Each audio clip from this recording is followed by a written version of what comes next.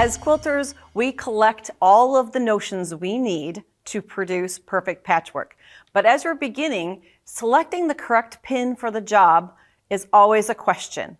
Which set of pins, which style of pins do I want in my sewing room? And as a quilter who came to quilting as a garment sewer, I was used to the really short, little teeny pins, and they had a plastic top, and they were really, really short. And I thought, quilters aren't using those. What are they using? So let's investigate. There are a plethora of things to look at and different sizes. So you may want to, uh, to try out a couple of different kinds. But one of the most important things is to pick a pin that has a glass head. That means that when the iron gets near it, we won't have any damage to the pin itself or transfer of color off the head of the pin. So I've got um, a set here that these are all glass head or mm, a flower head pin style, but these are glass. They have a, a variety of colors. Some people like to have that variety of color. It's easy for them to see. So, but these, if I take one out, you'll see are fairly short in length. This is close to the kind of pin I was used to using as a garment sewer. But as I got into quilting and realized that going through layers of fabric in order to line up my seams, the longer the pin, the better um, chance I had of keeping that joined seam nice and neat. So the shorter pins have kind of gone by the wayside. So I'll use these on occasion, maybe um, when I'm doing applique, and we'll approach that later. Now, the brands out there, there are many companies that make pins. Um, Clover is one, Dritz makes them. Um, Fons and Porter offers one. There's one called a Magic Pin.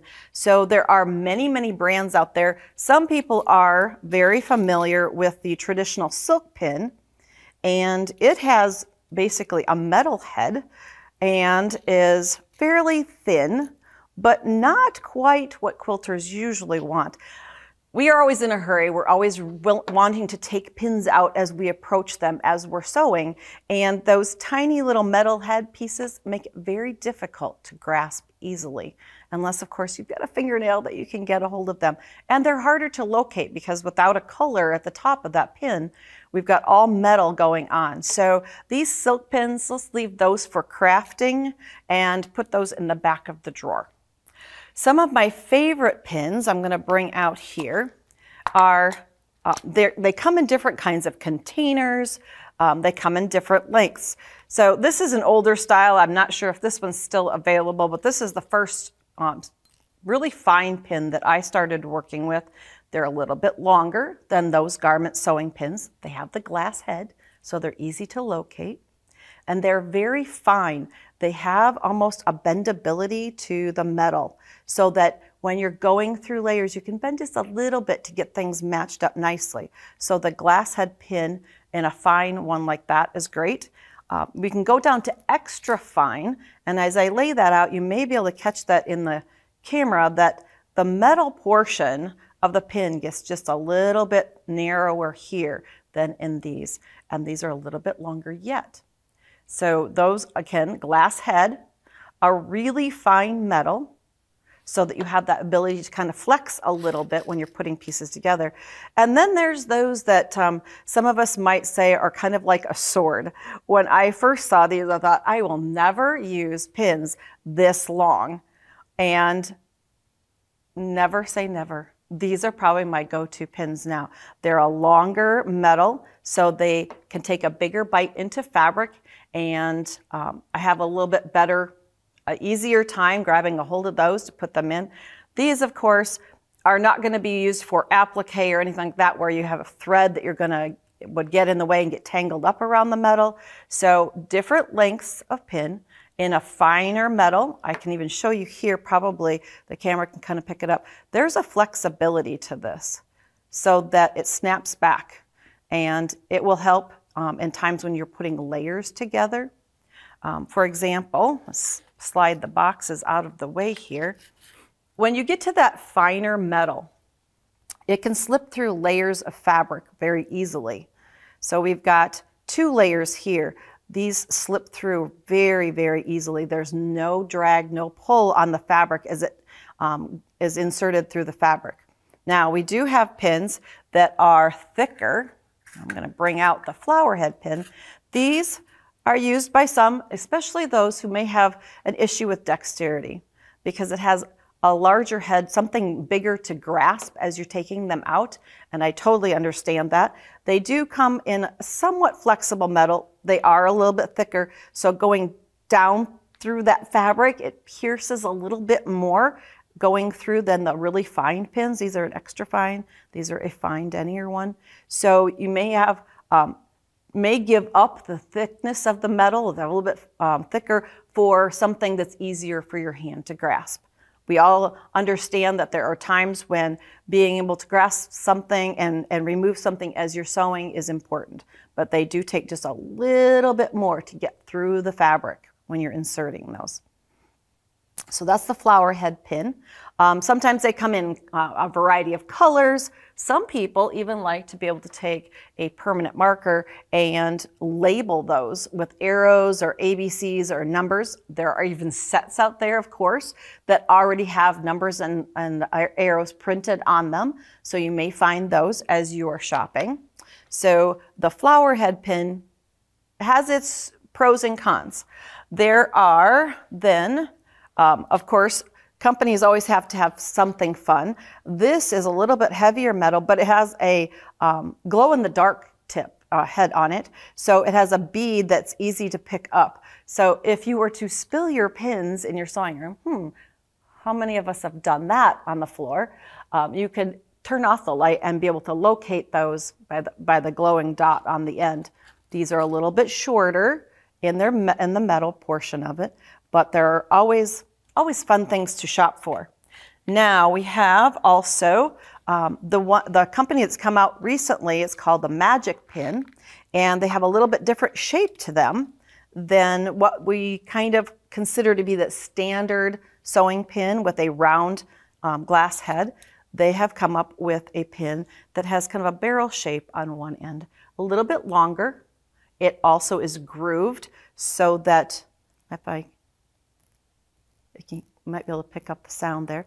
So it has a little bit of a groove there for your finger to grasp.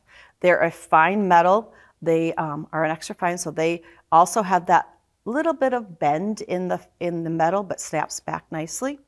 Um, so those may be um, an option for you. They come in different lengths. I believe there are at least four different lengths. This is one of the longer of the styles. Um, they are all um, color coded by the length. So you may find them in pink or green or yellow or the blue. So make sure that you read the packaging for the different length on the magic pins.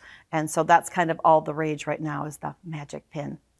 Then we have two other styles that I wanted to show you.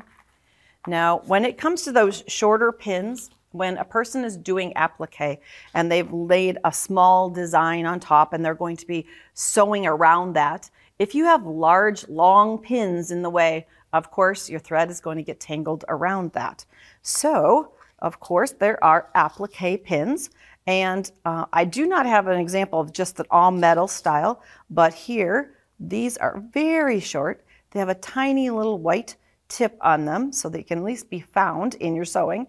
But by being short like this, as you put it into your applique, the thread that you're stitching with has less chance of being wrapped around the pins that are holding your applique pieces in place. So the applique pin can be handy. They are very short, so you kind of have to get used to working with them because they are so tiny. They come in a little snap box like that to keep together.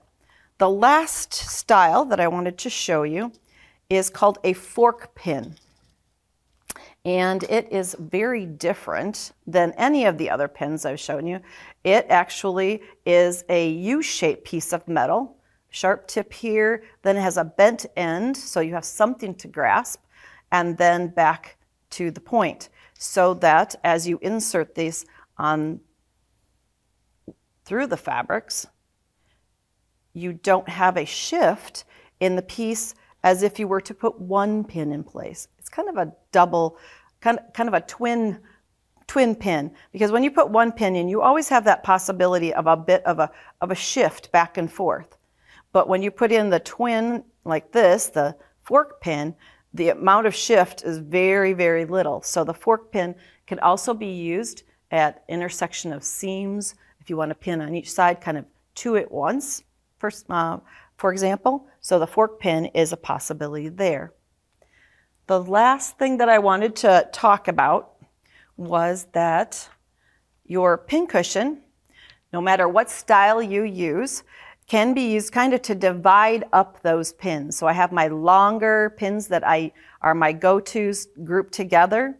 I have a few of those flower head pins if I want to maybe denote the rows in um, when I'm marking my quilt blocks for rows, maybe I'll use those. There are some crafting pins because we're always off doing a craft also that are very heavy. They have a thicker metal. They're very um, a lot harder to insert through the layers. So leave those craft pins for crafting instead of quilting. I always, of course, have a couple of T-pins and a corsage pin around because those are for hanging things on the wall, not for quilting. when you go shopping next time and try to decide what to select for pins, look for the different styles, maybe try out at least a couple to find your favorite. Thanks for joining me.